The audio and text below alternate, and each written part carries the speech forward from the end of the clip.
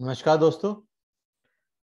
आज मैं अगला वीडियो लेके हाजिर हूँ फीवर सीरीज़ का और ये मेरे हिसाब से सीरीज़ का लास्ट वीडियो है और टॉपिक वही है डूज एंड डोंट। लास्ट में मैं ये कोशिश करता हूँ डूज एंड डोंट्स दे दूँ आपको किसी भी टॉपिक के बारे में सो so दैट कि आप एक क्रक्स को समझ सकें। अगर आपने सारी सीरीज़ देखी हुई है तो लास्ट में आपको पॉइंट को रिकैप करने में ईजी होता है ना? की की पॉइंट्स कह रहे हैं उसको। सो फीवर हो रहा है फीवर में क्या करना है?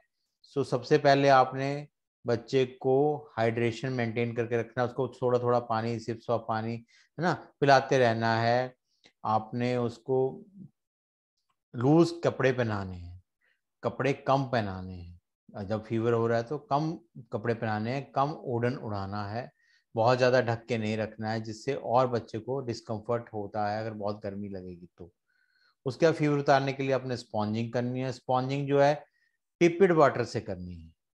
टिपिड वाटर मीन्स नलके का पानी या कोसा पानी ठंडे पानी से नहीं करनी है, बर्फ़ वाले पानी से नहीं करनी है। स्पॉन्जिंग पूरे शरीर की करनी है, सिर्फ़ सिर की पट्टियाँ नहीं करनी है। और या फिर कोसे पानी में बिठा के आप नहला सकते हैं या फवारे के नीचे भी नहला सकते हैं। ठीक है? कमरे को थोड़ा एरी रखना है, हवादार होना चाहिए, बहुत घुटन नहीं होनी चाहिए कमरे में। और फीवर उतरने के बाद आप उसको नॉर्मल कपड़े पहना दीजिए कंफर्टेबल रखिए। चार से छः घंटे बाद पैरास्टामोल देनी पड़ सकती है आपको तो वो पैरास्टामोल आपके पास रखिए। थर्मामीटर आपके पास होना चाहिए डिजिटल थर्मामीटर होना चाहिए, कैसे टेम्परेचर लेना है टेम्परेचर वाला वीडियो मैंने समझा दिया है। मेटाबॉलिक डिमांड बढ़ जाती है मेटाबॉलिक रेट बढ़ जाता है, दर्दें हो रही होती हैं चाइल्ड खाने के लिए इतना इंटरेस्टेड नहीं होता है तो फीवर उतार देंगे तो थोड़ा कंफर्टेबल हो जाता है, खेलने लग जाता है और वो खाना कुछ खा लेता है। तो थोड़ा खाना देना है एनर्जेटिक फ़ूड देना है इजीली टू डाइजेस्ट देना है, घी तेल उसमें डालना है ताकि उसको एनर्जी भी मिले। फीवर के बीच में कंफर्टेबल है बच्चा इंटर करंट इलनेस में बीच में कंफर्टेबल है तो ज़्यादा बरीसम बात नहीं है। अदरवाइज़ अगर फीवर उतरने के बाद भी बच्चा थोड़ा सुस्त है टॉक्सिक जैसा है तो फिर इमीडिएटली अपने डॉक्टर से सलाह लेनी है। ठीक है? क्या गलतियाँ नहीं करनी है? ओवर क्लोथिंग नहीं करनी है? बहुत ज़्यादा ढकना नहीं है फीवर के टाइम पे? नहलाना, बंद नहीं करना है?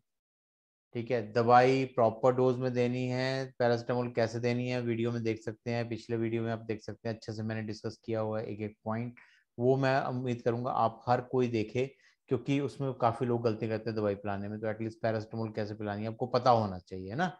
कोल्ड वाटर को नहीं यूज़ करना उससे ठंड लगती है, बच्चे को इरिटेट होता है बच्चा।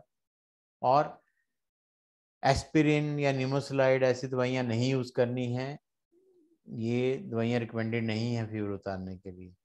पैरासीटामोल और ब्रूफिन ये दो दवाइयाँ मेनली रिकमेंडेड हैं। कुछ लोग मेफेनामिक एसिड को भी यूज़ करते हैं। इससे ज़्यादा कोई दवाई रिकमेंडेड नहीं है फीवर उतारने के लिए। एंटीबायोटिक फीवर के लिए नहीं होती है, बाकी कोई दवाई फीवर के लिए नहीं होती है तो बहुत सारे पेशेंट आके बोलते हैं एंटीबायोटिक दे दी हमने। अरे फीवर के लिए थोड़ी थी वो। वो तो बैक्टीरियल इन्फेक्शन के लिए थी, ठीक है? तो एंटीबायोटिक वाला सेक्शन भी देख लीजिएगा। खाना कैसे खिलाना है, बीमारी में क्या खिलाना है, वो सेक्शन भी देख लीजिएगा। तो एक एक सेक्शन अगर आप देख लेंगे तो आपको सारी चीज़ें पता चल जाएँगी। तो मोटे मोटे डूज एंड डोंट मैंने बता दिए। फेब्राइल सीज़न में क्या करना है, क्या नहीं करना, उसका अलग से वीडियो है। उसको देख सकते हैं कि दौरे में आपने क्या करना है क्या नहीं करना वो पता होना चाहिए। वो भी एक कॉमन प्रॉब्लम है, छोटे बच्चों में हो जाती है। तो फ्रेंड्स उसके बाद जैसे फीवर उतर गया, आज का दिन निकल गया, अगले दिन कम से कम जाके डॉक्टर को अपने मिल लीजिए, उनको बताइए, बच्चा दिखा के आइए, है ना? अगर दोबारा फीवर नहीं आया, एक ही बार आया, बारह घंटे, चौबीस चौबीस घंटे तक कोई फीवर ही नहीं आया तो हो सकता है कि वो जस्ट एक फीवर का एपिसोड था, ठीक हो गया तो ज़्यादा वरी करने की ज़रूरत नहीं है। तो अगर आप डॉक्टर के पास नहीं भी जा रहे हैं तो कोई इशू नहीं है, लेकिन अगर हर चार छः घंटे में फीवर आ रहा है तो आपको डॉक्टर के पास जाना ही है। ठीक है? सो इतना आपने करना है, ये डूज एंड डोंट्स हैं। आज ये सीरीज़ ख़त्म होती है। उम्मीद करता हूँ आपको काफ़ी हेल्प मिलेगी। फीवर एक कॉमन प्रॉब्लम है। हर बच्चे के साथ होती है, हर घर में होती है। तो आपको ये नॉलेज होना ज़रूरी है। मुझे अपनी सुजेशन भेजिएगा कमेंट्स भेजिएगा। जो रिक्वायरमेंट है वीडियोस की, किस तरह की सीरीज़ चाहिए आपको, कैसे वीडियोस चाहिए, वो मुझे बता के भेजिएगा। डिफरेंट डिफरेंट टाइप के आप भी देख रहे हैं वीडियोस कुछ लंबे होते हैं, पंद्रह बीस मिनट के, कुछ चार पाँच मिनट के होते हैं। कुछ मैं छोटे वीडियो बनाता हूँ।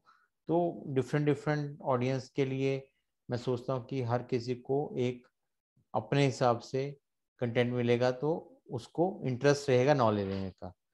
उम्मीद तो मैं यही करता हूँ कि जो एक बार चैनल में आता है, उसको कंटेंट अच्छा लगता है तो वो सारे वीडियो धीरे धीरे सुन ले, क्योंकि हर वीडियो आपके काम का है, हर वीडियो पेरेंटिंग से रिलेटेड है पेरेंट्स की जो इश्यूज़ हैं उनसे रिलेटेड होता है, और बच्चे खुद भी देख सकते हैं, कुछ ऐसे वीडियो भी हैं।